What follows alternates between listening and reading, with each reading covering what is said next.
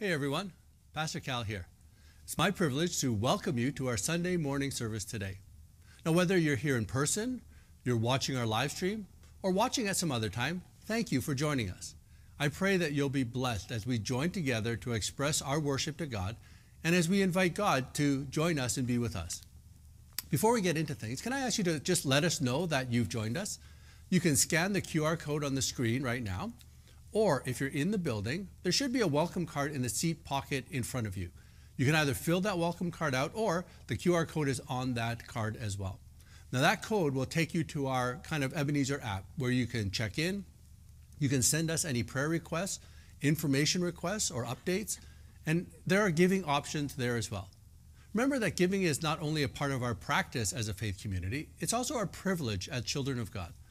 If you're here in person, you can also give at the coffee station after the service.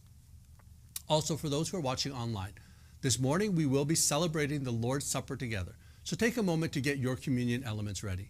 A little bit of bread or a cracker and a small cup of juice will work just fine. Now, a few announcements for us this week. First, I want to once again remind you about our journey wall in the hallway just outside the chapel. We're getting more and more entries, and there's been pictures added as well. And it's great to just walk down that journey wall and look at what's up there and to recall the amazing memories of God's work in our church family over the last many years. Now, if you haven't yet added your memory or your memories, grab one of the forms and fill it out, hand it into the church office. And if you haven't yet had a chance to see what's up there, go and take a look. Maybe that'll remind you of some of the ways God has worked in your life through Ebenezer, and you can add that to the memory wall as well. Remember, that this journey wall is a part of our succession plan as it allows us to recall where God has worked and guided us in the past. It allows us to better understand who we are as a church family in the present, and will help guide us as we discern God's leading into the future.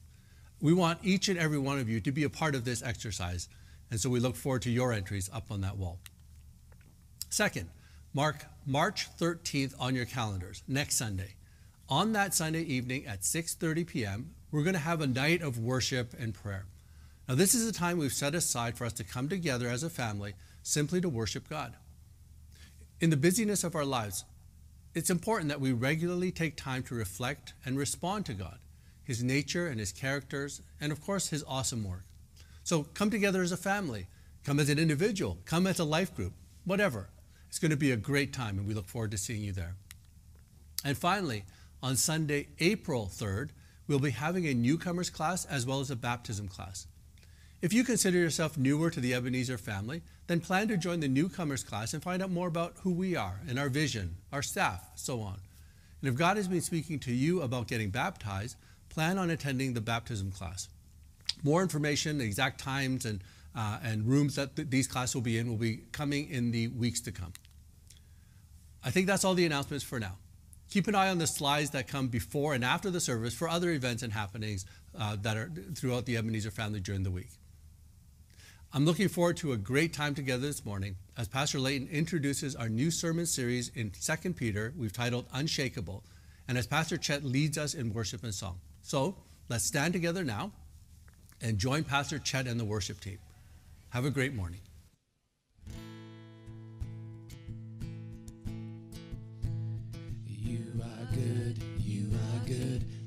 There's nothing good in me. You are love, you are love, on display for all to see. You are light, you are light. When the darkness closes in, you are hope, you are hope. You have covered all my sin. You are peace, you are peace. When my fear is crippling.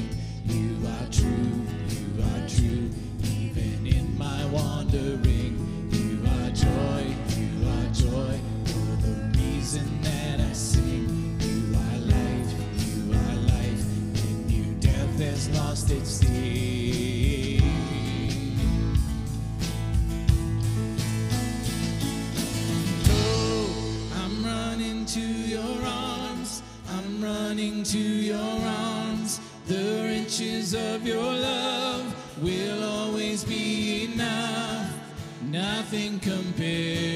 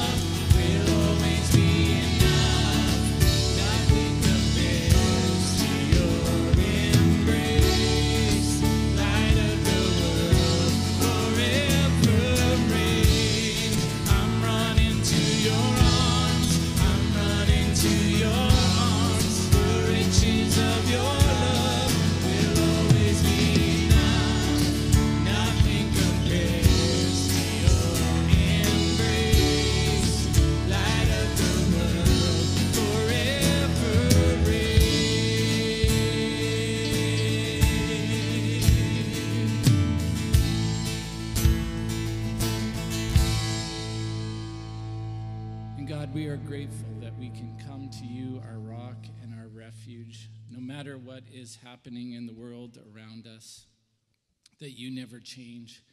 Your character never fails. Your promises are always true.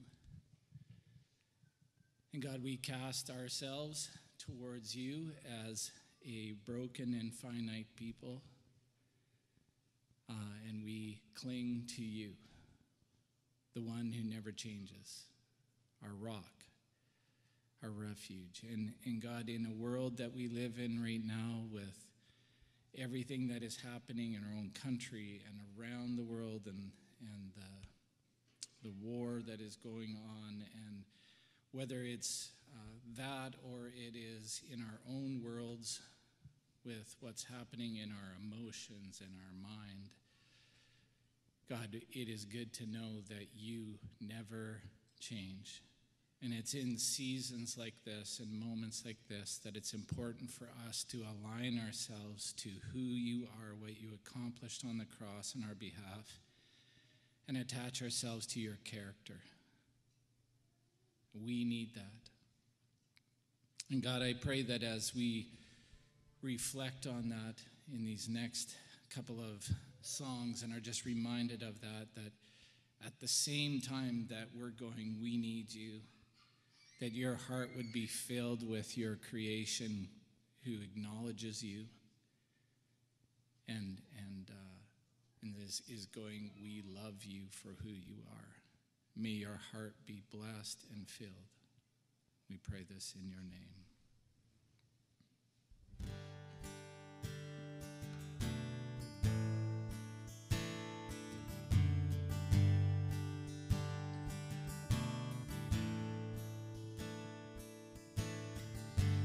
Father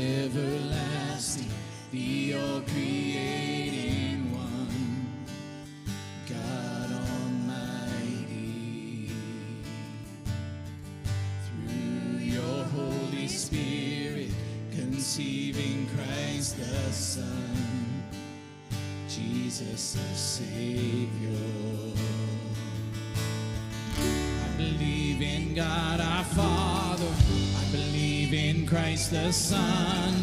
I believe in the Holy Spirit. Our God is three in one. I believe in the resurrection that we will rise again. For I believe in the name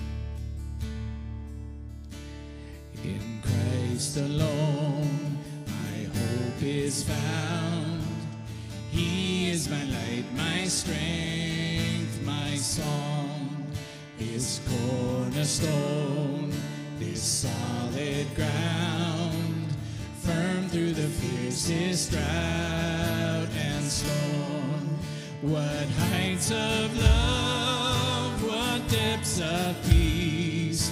When fears are stilled and striving cease, my comforter.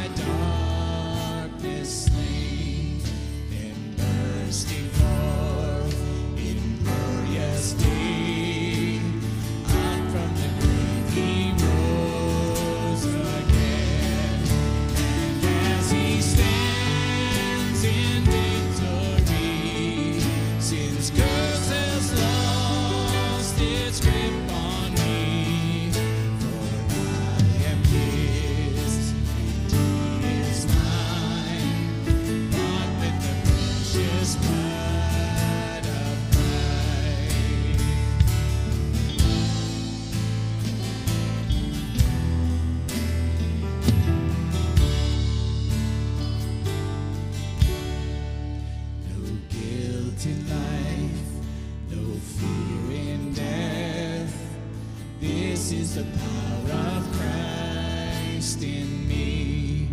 From life's first cry to final breath, Jesus commands my destiny.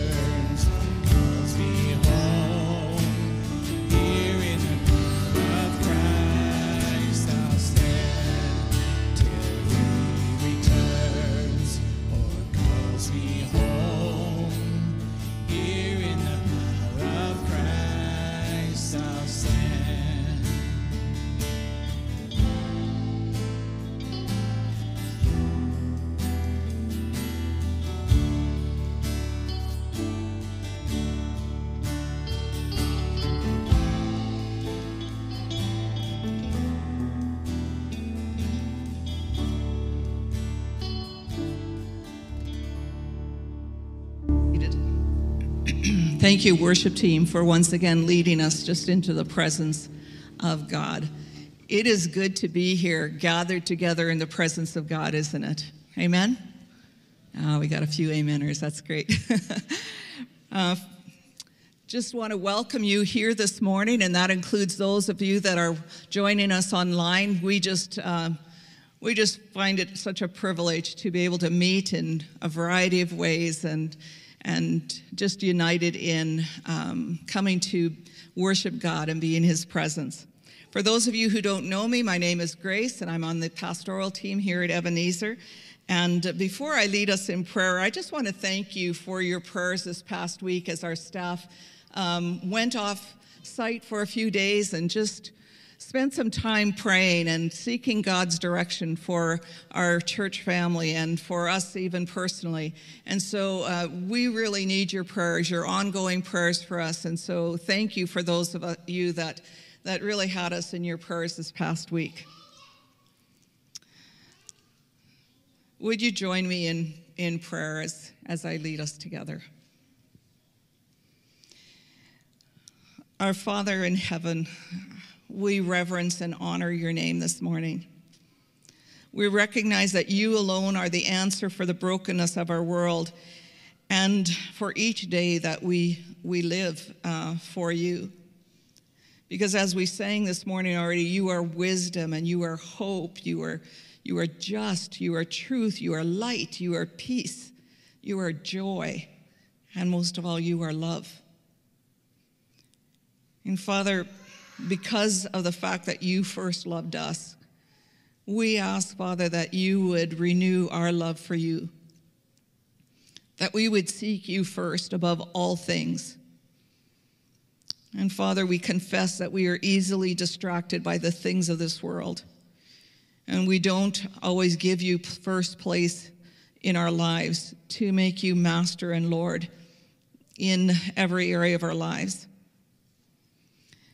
Because, Father, we recognize that you alone have the answers, not just for eternal life, but for each day that we live. Help us to recognize the emptiness of all other pursuits that keep us from having that intimate relationship with you. Jesus, you showed us a better way to live our lives. Help us to follow um, Jesus' ways and to be like you in character, because that is the way that leads to true life. John 10:10 10, 10, uh, says that Jesus came not only to give us eternal life, but that each day here on earth would be abundant with meaning and joy and purpose. So, Holy Spirit, we bring us back to the heart and mission of God to seek you with all our hearts. This morning, we are also very mindful of the people of Ukraine, and our hearts are heavy for them. Father, we believe that you are sovereign in all things and all places, and we believe that for Ukraine as well. You have promised to hear from heaven and that you will lean down and listen when we pray. And so we ask for strength and safety for our brothers and sisters in Ukraine. We ask, Father, that evil will be overcome with good and for your glory. And for the Ukrainian community in our city and here, even at Ebenezer, we pray your peace over them. We pray with them for an end to this awful war. Help us to stand with them as they grieve for their homeland and for the family that they still have there. Show us how to be the family of God to these brothers and sisters during this time. And for others um, in our midst who are struggling with, with health, um, perhaps grieving, financial or relationship stress or loss. Father, we ask that you would, they would feel your presence and peace. And as you're the family of God, give us eyes to see ways that we can walk with them in these difficult times. And give us the love for each other that will respond to the needs that we see. Thank you for where we see evidence of your spirit at work in our individual lives and in our church family. Thank you for not giving up on us, even when our hearts are distracted or divided or have even grown cold. Give us the courage, Father, and the humility to pray as, as David did Search me, O God, and know my heart. Test me and know my anxious thoughts. Point out anything in me that offends you and lead me along the path of right living. And Father, as Pastor Leyton comes to share from your word this morning, we ask that you would anoint him with your spirit. And I pray that you would um, help us to he- not just hear your word, but to be willing to obey it as well. We ask all these things in the powerful and beautiful name of Jesus. Amen. If you are age four to grade four, you are dismissed to go to Rush. If you're new here, just go to the back of the room and follow all the little footsteps that are going. Someone will be helping you there. Thank you.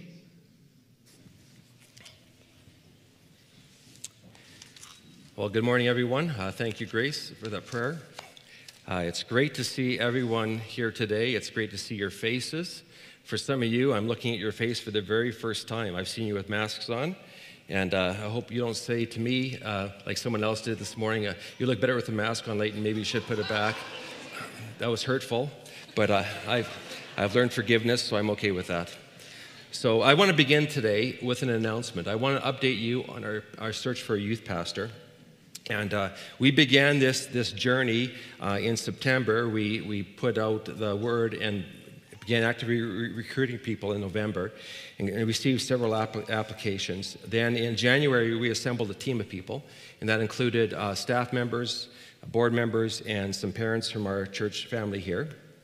And we looked over the applicants, and then in February we did some interviews, and I think we conducted three interviews in total, and we decided that uh, two of those people really stood out, and to the, to the point where actually we had uh, a, a, lot of trouble deciding on who to actually pursue uh, because they were, they were equally good, just in different ways. Uh, they were very, something that we thought was, was very good for us here as a, as a, as a uh, church here. So, um, what we ended up deciding to do is to pursue both of them. and so, we are looking at um, uh, bringing on a, uh, a guy and also a girl who are recent graduates from Briarcrest Bible College. In fact, they know each other. They have a common best friend. One is engaged to that best friend, and the other one is, of course, just a friend of that person. And so it's, it's great to have them. So I, I want to just introduce who they're going to be. Uh, one person you will know because they're from our church family. The other person is going to be new to you. But the first person is Will Dimitro. Will has, has been our, our intern here this last year. He is part of our church family. He has a passion for youth. He's grown up in the youth and uh, and he is he is very excited about being part of this uh, this journey, and so we're grateful for that. Uh, and of course, we had to approach both of them and ask them if they'd be open to working together, and they were. And the other person is Ashlyn Feenstra, and Ashlyn is from uh, she's from Lethbridge, Alberta, and uh, we're excited that she's going to be here. Both have some tremendous gifts. And what made this possible is that uh, Ashlyn also has some background in children's ministry. uh, both in a training and also in experience. And because we have some, some needs in that area right now, uh, we thought this would be a great opportunity to, to explore something different. And so we're going to invite them to come and candidate at our church. That's going to happen on uh, March 22nd all the way to the 27th. So there'll be a couple of connecting points with the youth and parents and the, the, church family on the Sunday morning. We want you to get to know them and we want to be able to vote and hopefully call them and, and invite them to be part of our, our staff team here. So I'm very excited about this. These are, these are high quality people. I was talking to our executive director of our denomination. I called him a couple times to see if he had any people uh, in mind for us. And he said to me, uh, Boy, youth pastors right now, they're like unicorns. They're hard to find. And, and so the fact that we have two people that are interested in being part of our family here is exceptional. And I hope that encourages uh, the families that are here and the youth. I, I can tell you that uh, for those that don't know Ashlyn, you're going to fall in love with her because she is, uh, she is amazing, wonderful, loves relationships.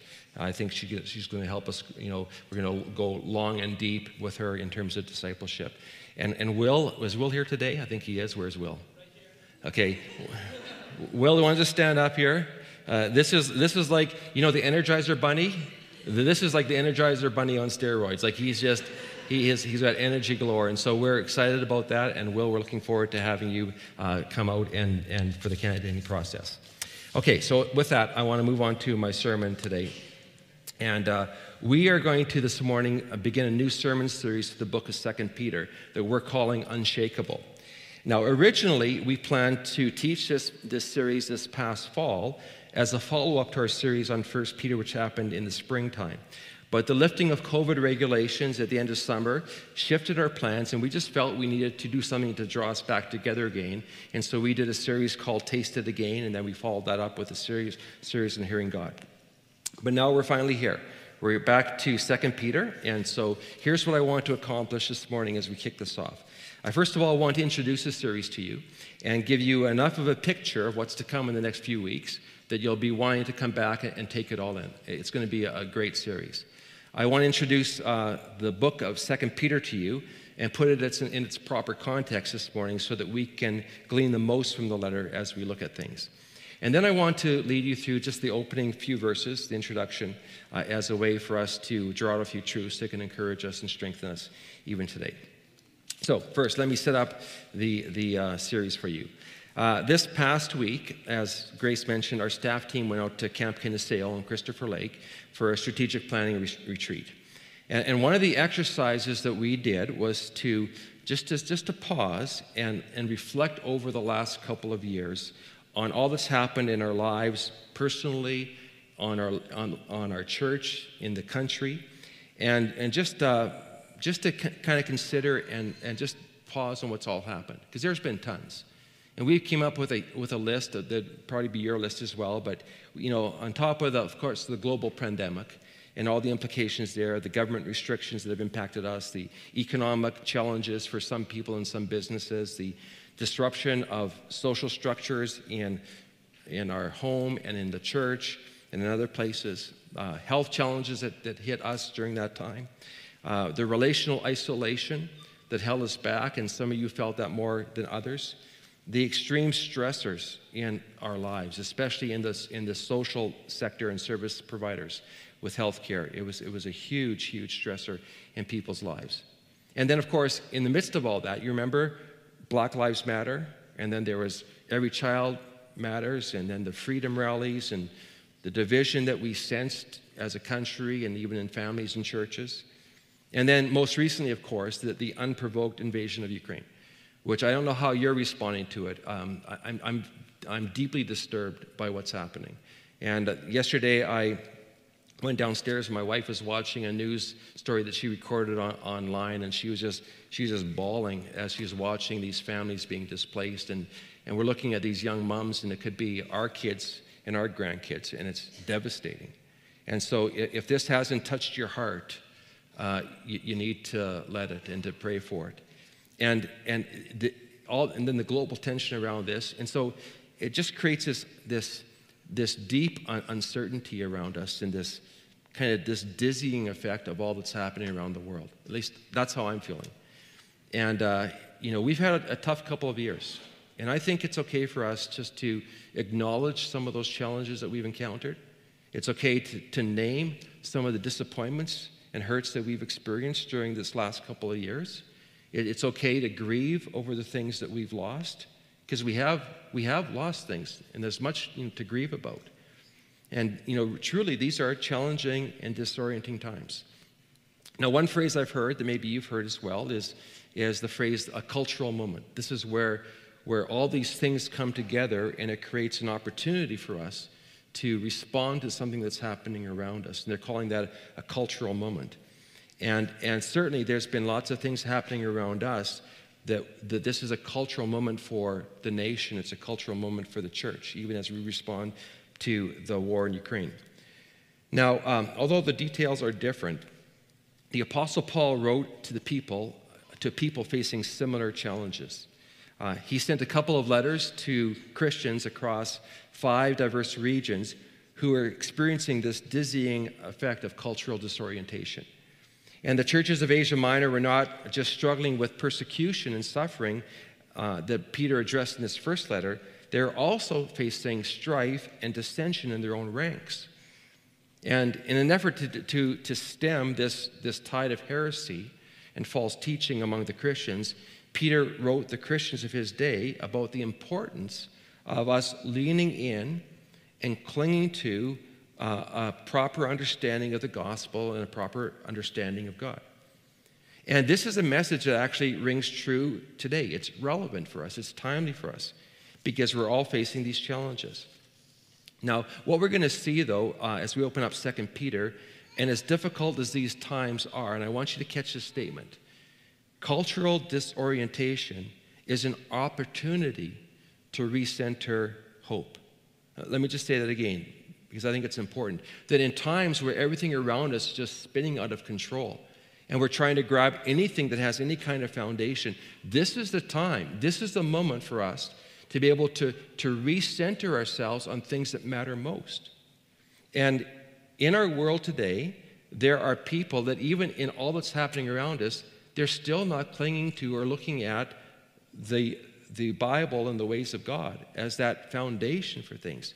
And Peter's going to encourage us that this is actually the, the heartbeat, the thing that will center us, the thing that will anchor us along the way. So, Second Peter you may recall from our series in 1 Peter back in April, because I know that you cling to all of our words and listen carefully and remember everything that we say from the frontier. But you may remember that, that Peter wrote uh, his first letter to believers who have been scattered across the Middle East at the very beginning of Nero's reign of terror, which began in about AD 64. And in this, and in this first letter, the purpose was to, to encourage the church in the suffering that they were facing with these words of hope. Now, uh, Peter's second letter is written about two or three years later, around AD 67, and this was now at the height of Nero's terror of reign. And in fact, uh, it was during this season or time that both Peter and Paul were put to death by Nero. Uh, tradition tells us that, P- that Paul was, was beheaded by Nero and that Peter was crucified upside down. So there was an intensity that was happening around this time that Peter was, was, was feeling. And it, and it, seems like from the verses in about uh, 13 and 15 of chapter 1 that, that he realized that his death was going to be imminent. And so he writes this letter really knowing that these are going to be his last words to the people he loves, the church he loves. And that's why this is known as Peter's farewell sermon. And this time, though, he doesn't focus in on the suffering, even though it's more intense than ever. Instead, he focuses in on the church's internal problems. And in particular, he zeroes in on the false teachers who are, have made their way into the church and were leading the church astray. Now, with, with his last words, Peter wanted to remind all believers to just to never stop growing, to keep on leaning into God and leaning into the, the foundations of the gospel because he knew how easy it would be for followers of Christ to drift, drift away from the fundamentals of the gospel, especially when they're going through tough times, and especially when, when false teachers are infiltrating them. And in Peter's day, these false teachers were causing people to doubt their faith and turn away from Christianity through their corrupt way of living and also through their distorted theology. And by the way, this is still a huge issue for the church today. We see some religious leaders whose, whose lifestyle is not becoming of what the Bible says, and we see all sorts of different theologies out there that are pulling us apart. Now, did you realize that there are actually about 10,000 active cult, cults around the world today? And that doesn't include some of the false teachers that have infiltrated the church of the 21st century. Now, much of Peter's uh, second letter is about, is about knowing and staying focused on the essentials of faith so that believers would not drift into heretical teaching. And he wanted the church to be, to be rooted in the truth of the gospel and understand it more and more fully because we can never fully understand the ways of God and the work of God. Now, before we, we open uh, to the first verses in this uh, book, let me just give you a quick overview of 2 Peter. It's a short book, it's only three chapters long, which means that, that uh, you, could, you could go home this afternoon and quickly read it so you're on, on top of everything that we're going to be teaching over the next few weeks. But in, in chapter one, we're going to see that, that, that uh, Peter talks about the basics of the gospel and how to grow as a Christian. And he emphasizes the, the sufficiency and the certainty of God's word in our lives.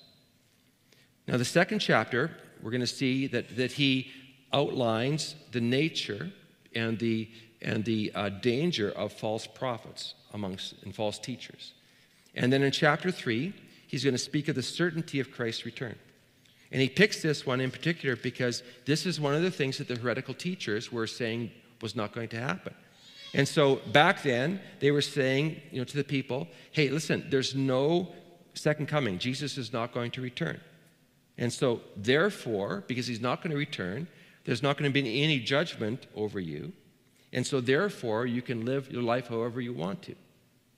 Now, if that sounds familiar, it should, because that is the dominant message of North America, including some churches in North America.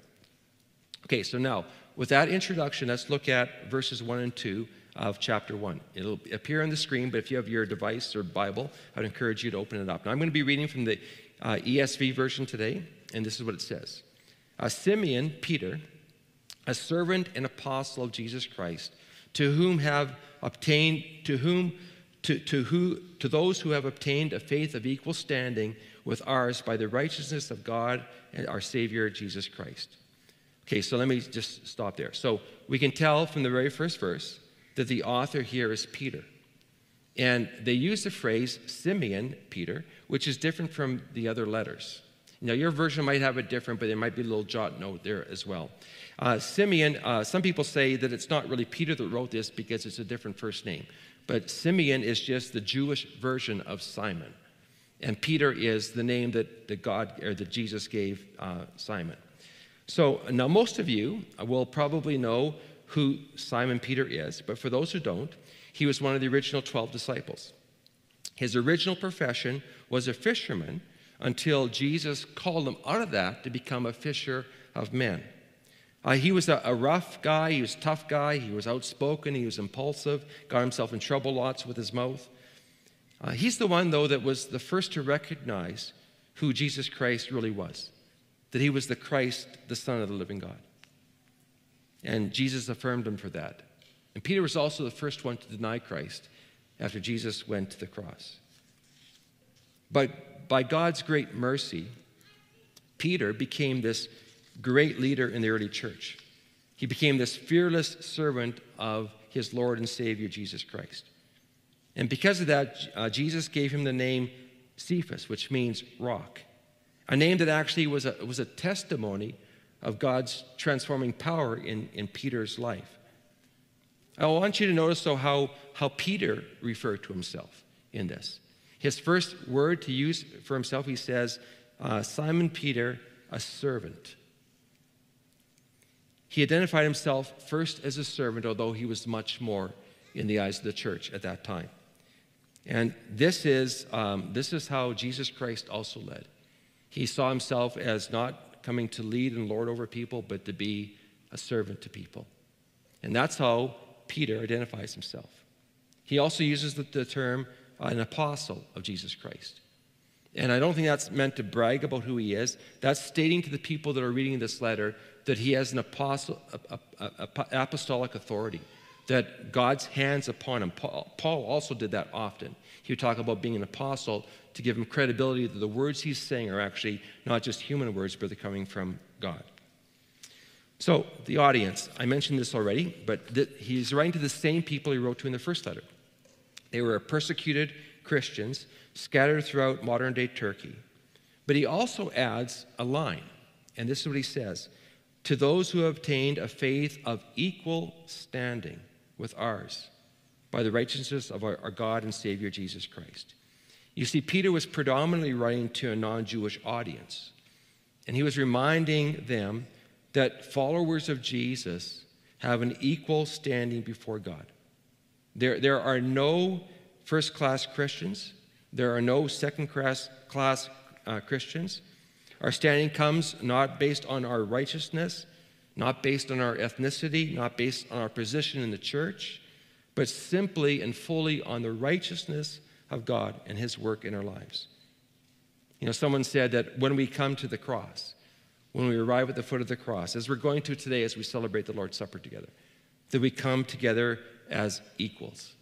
No one else has more standing than anyone else. We come as people desperately needing a Savior and desperately needing the work of Jesus in our lives. Verse 2, it continues. It says this May grace and peace be multiplied to you in the knowledge of God and of Jesus Christ our Lord. Uh, this very phrase, at least the first part of it, appeared in Peter's first letter.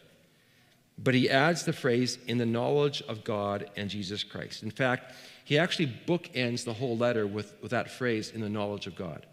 Uh, verse 2 uh, May grace be multiplied in you in the knowledge of God uh, and of our Jesus and of Jesus our Lord. And then verse chapter 3 verse 18, but grow in the grace and knowledge of our Lord and Savior Jesus Christ. Now, that is going to be a major theme throughout the whole uh, short letter.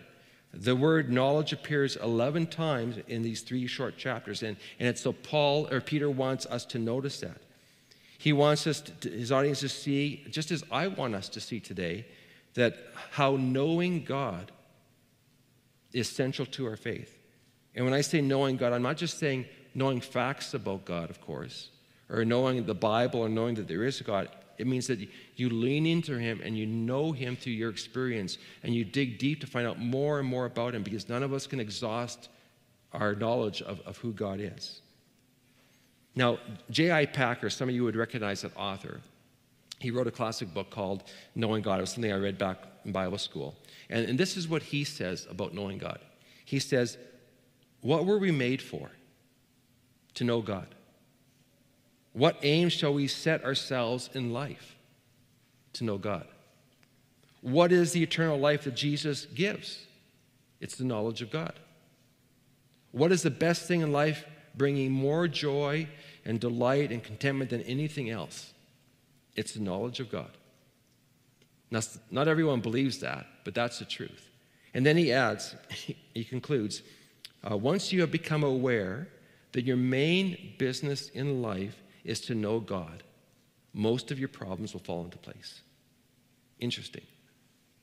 Now, just think of how that would change you and your attitude and perspective on life. If, if you were to wake up tomorrow believing in your heart and your mind that your main business today would be to know God, that you would see Him in all the things that happen around you, those frustrating moments, those blessings, when you open up God's word, when you pray, and God is just pouring out himself and saying, I just want you to know me more and more and more.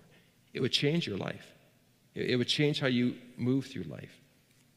So uh, let's keep that in mind because that's one of the themes as we, as we walk through Second Peter together over the next few weeks.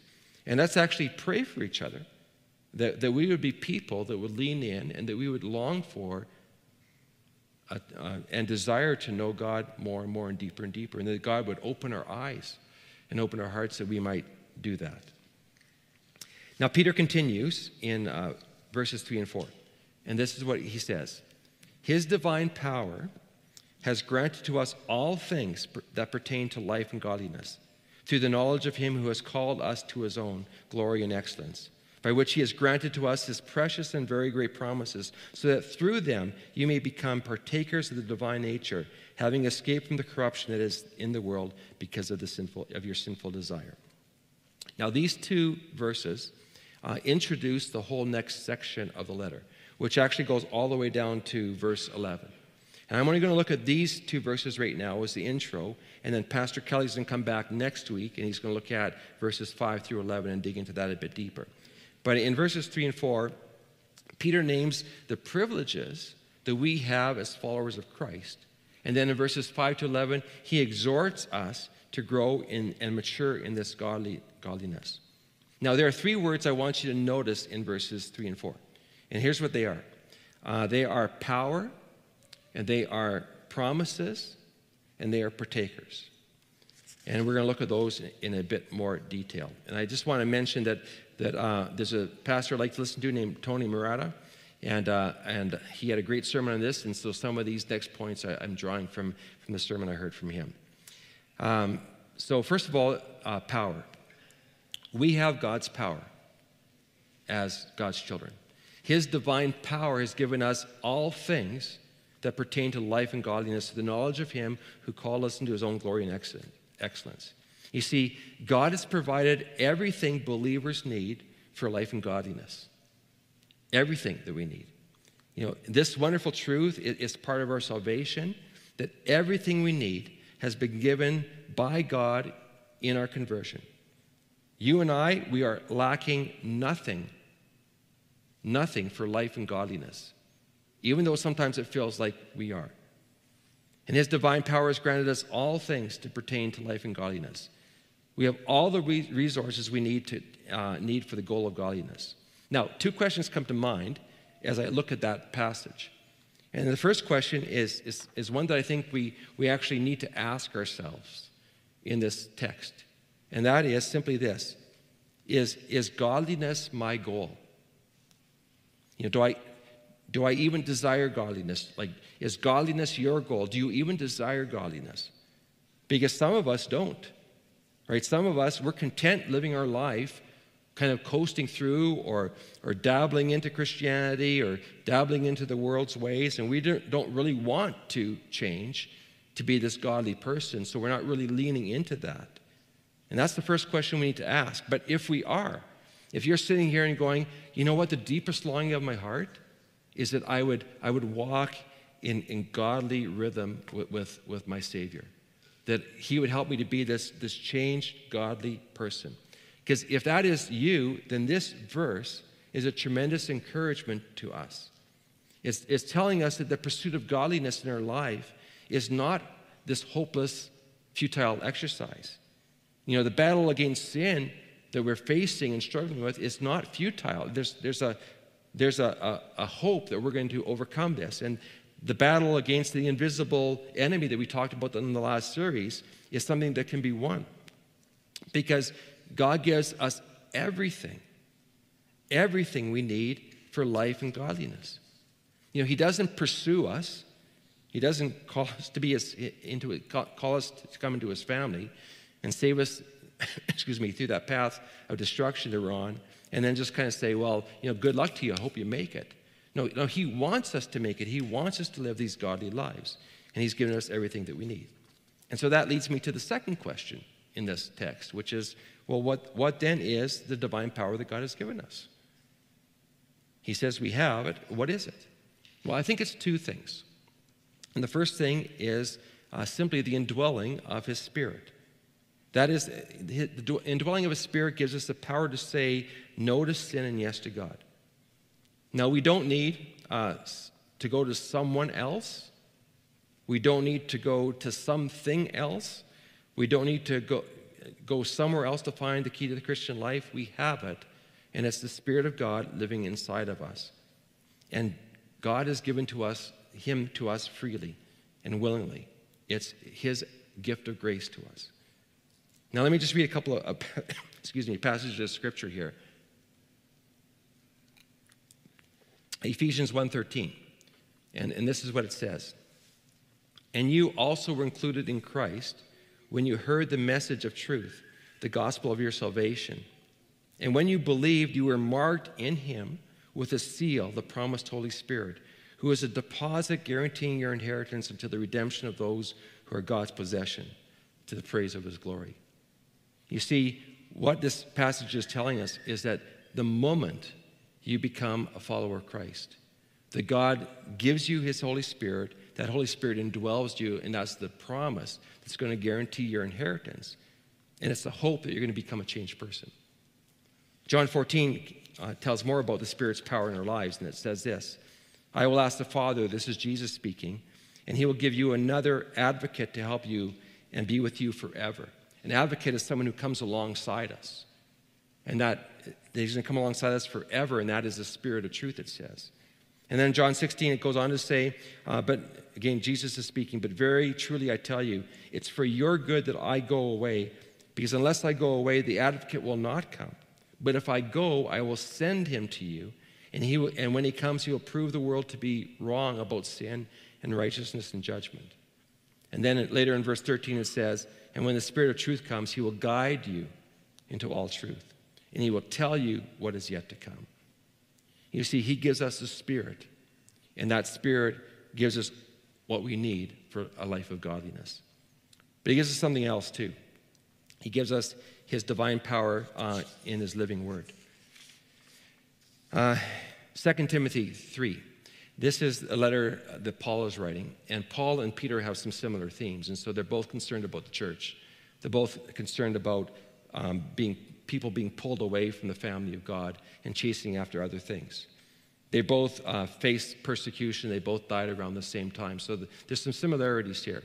And this is what, what Paul says in 2 Timothy. He says, uh, in fact, everyone who wants to live a godly life in Christ Jesus is going to be persecuted. Then when we want to move down that path, that's what's going to happen. And you know, I, I think that even though we've experienced some of that in our country right now, it's only going to intensify. I, I don't think that that uh, you know the church is going to experience. We're going to experience some more persecution along the way, whether that is like the conversion therapy bylaw that's been passed, or whether that's Bill C-10 that's trying to limit uh, freedom of speech. There's going to be more things that are coming our way. And it goes on to say that, um, but as for you, continue to live, he's speaking to Timothy, but as for you, continue in what you have learned and have been con- become convinced of, because you know of whom you have learned it, which is Paul, and how from infancy you have made known the Holy Scriptures, which make you wise for salvation through faith in Christ Jesus. And then he adds a verse that many of you will, will recognize as soon as I read it. And it says this All scripture is God breathed and is useful for teaching, for rebuking, for correcting, and training in righteousness, so that the servant of God may be thoroughly equipped for every good work. You see, his divine power has given us the indwelling of the Holy Spirit, and his divine power has given us the powerful living word of God. Second word, uh, promises. We have God's promises. Uh, verse 4 it says, By which he has granted us his precious and very great promises.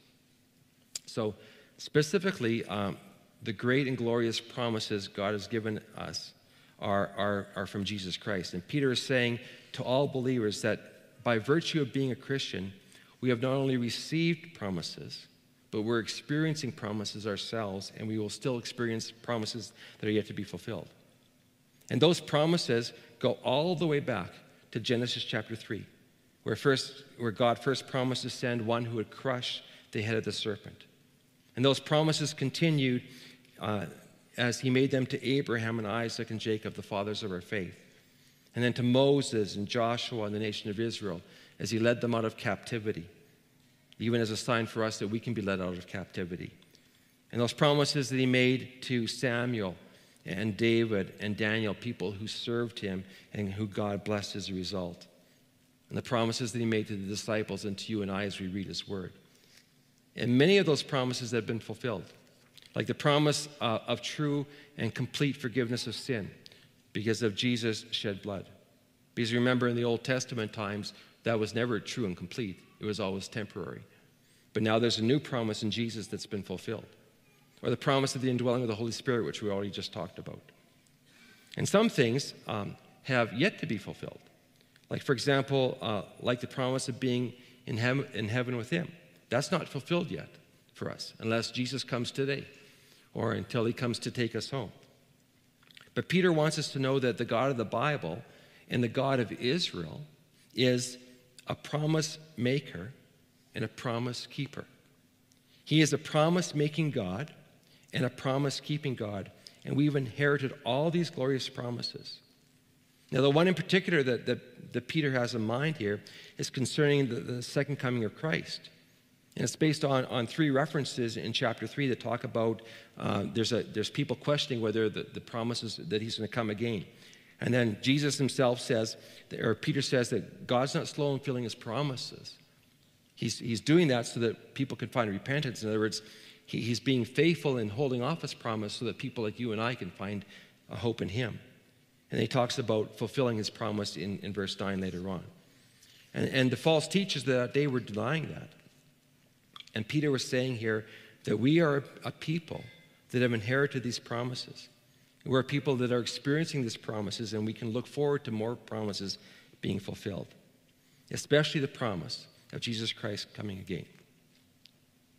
And by the way, that promise is the blessed hope. That's the promise that we're looking forward to. Not the end of restrictions or the return to normal, uh, because in normal, um, normal is not our blessed hope. Returning to normal means there's still going to be death, there's still going to be injustices, there's still going to be sin, there's still going to be wars and conflict. But when Jesus comes again to, to usher in the new kingdom, with himself as the good and righteous and just king.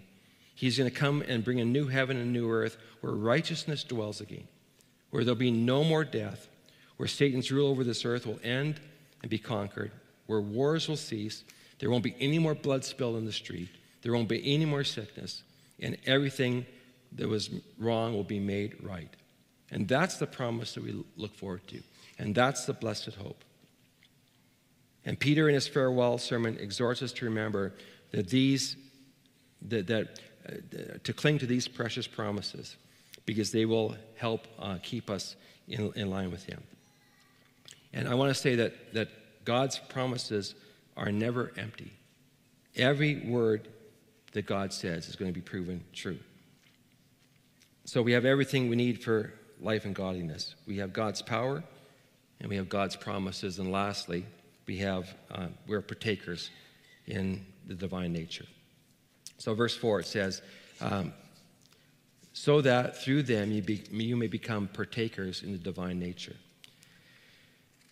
Peter next tells us that these promises, uh, that is, believing in them and trusting in Christ, uh, will, will help bring those things about.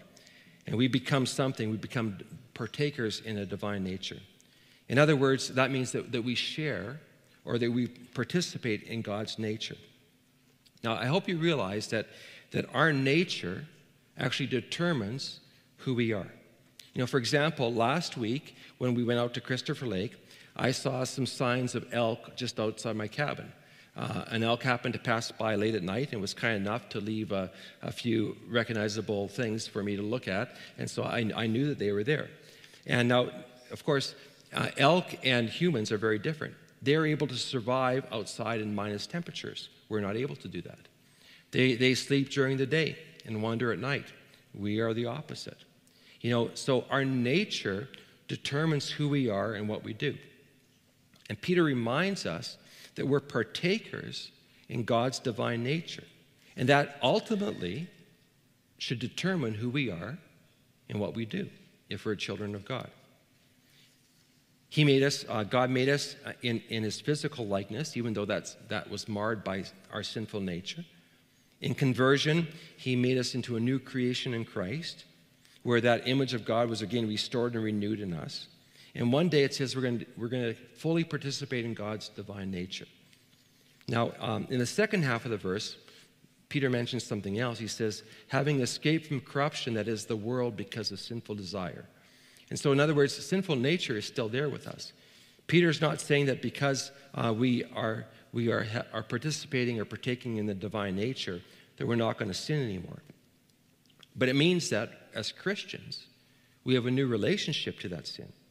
It means that, that sin no longer has power over us like it once did. Even though we're not going to fully be free from sin and won't be on this earth, sin no longer has to have dominion over us. So his divine power has given us everything that we need for life and godliness, which means that we are not hopeless people when it comes to grow in godliness. We're not powerless people when it comes to walking with him. And it means that we've escaped the corruption of this world through our sinful desire. And this is great news for us. Now, I want to invite Chet to come up uh, right now and the team. And they're going to lead us in a song, and uh, we're going to have communion together. But just as he's doing that, let me just kind of wrap things up with a few summary comments to kind of pull things together. And um, uh, what we've talked about here is, some basic truths, and one of them is that the Christian life needs to center on Jesus. Everything in this passage that we talked about, that we looked at today, is either in or through or for Jesus Christ. And the reason that's so important uh, to keep Christ center is because our tendency is to drift away and to chase after other teachings. And so Peter says, Listen, I need you to lean into Jesus. I need you to make him first and center your life on him. Second thing we've said is the Christian life is a gift of grace. Our assurance and our security is not in keeping our promises to God, but it's Him keeping His promises to us. Third, the Christian life involves both word and spirit. We need God's word and we need God's spirit to be alive in our lives so that we can walk with Him. And then, fourth, it's just a reminder that the Christian life is an already not yet reality. In other words, we're partakers in this glorious salvation, and it's true and, real, but we don't, we're not going to experience it yet in its fullness, but one day we will. So let me just uh, pray, and then we're going, to, we're going to move into communion. So, Father, uh, thank you so much for your word. We are grateful for the promises that you've made, and the promises that you've kept, and the promises that are still awaiting for us. And thank you, Jesus, that we have a standing before our God through you and your righteousness and all that you've done on the cross. And it's your death and resurrection and your return that we, we ponder as we come to the table today. And we pray these things in Jesus' name. Amen. If you would, please, uh, you should have received a cup when you came into the worship center today. And if not, there might be some people that will hand these out if they can. Does anybody need a communion cup? A few people? If I can have some staff, maybe you run to the back and, and bring some in for us, that would be great. So just if you could take off the top layer, and just as if, if you need one, just please raise your hand and we'll make sure. Chris, there's a couple over here in the middle here, if you could do that for me. and just as we're waiting, I'd like you to take out the, the wafer and, and just hold it in your hands for a second. Some more people over here, too, please. I shared this um, on a retreat and also first service. Um, about a month ago, I had a chance to go visit my mother, who's a wonderful Christian lady, but, but who's aging and declining. And she's now in a, in, a, in a home.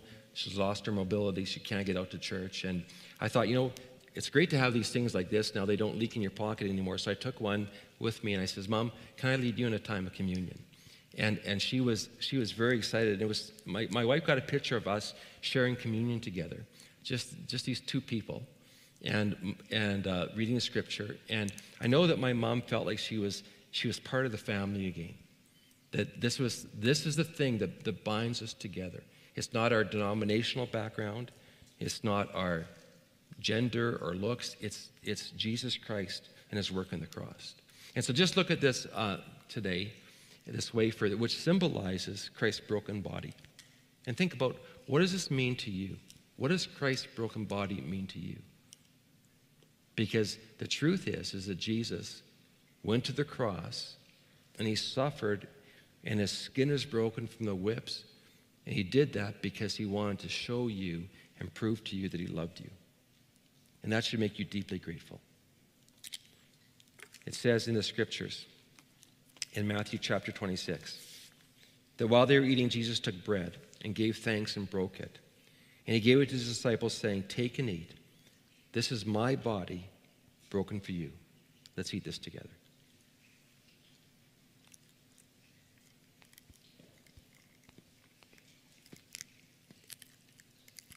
Okay, now if you can open the second layer as well.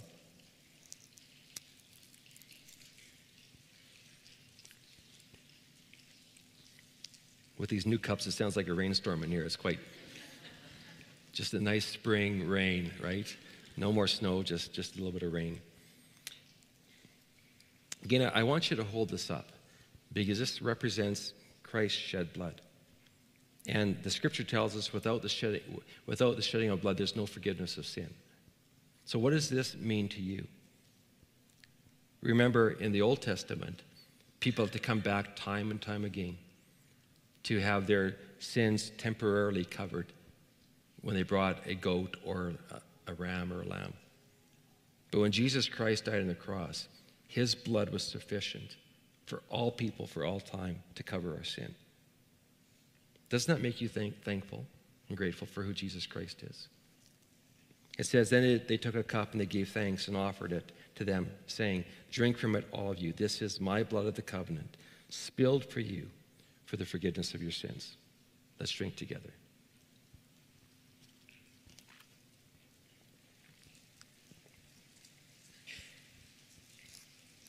Okay, as we close the service today, I would like you to stand with me, please. And uh, Pastor Chet's going to lead us in, in one more song. Uh, if you're new to us or you haven't been here for a while, uh, this is the time where we create space to be able to pray for one another. And so there'll be some leaders from the church that'll be up at the front that would be happy to pray for you. Um, as well, if you know Jesus Christ is your Savior, in the eyes of God, you're a saint, you're, you're and uh, you're righteous, and, and the Bible says that the, the, the prayers of a righteous person availeth much. And so maybe you just need to pause and, and go to the person beside you or, or lean over and pray for them as well. But we're going to sing this song together, and as we do, we just invite you to pray for one another or to come up and be prayed for.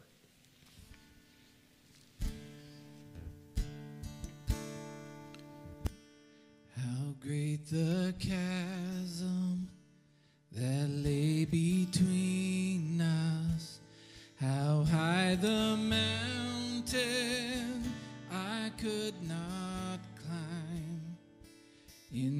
desperation, I turned to heaven and spoke your name into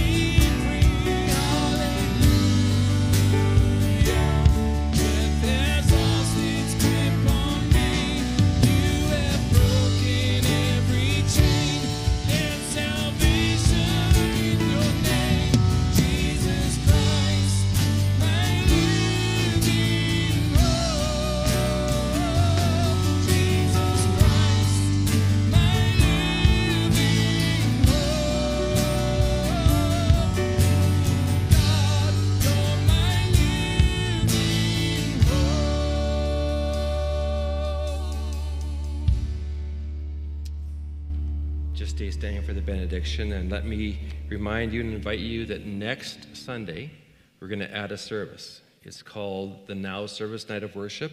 It's going to start uh, 6:30 p.m. Uh, right here in the worship center.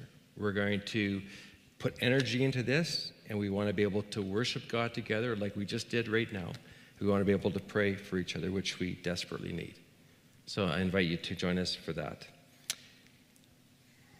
Now, to him who is able to keep you from stumbling and to present you blameless before the presence of his glory with great joy, to the only God our Savior through Jesus Christ our Lord, be glory and majesty, dominion and authority before all time and now and forevermore.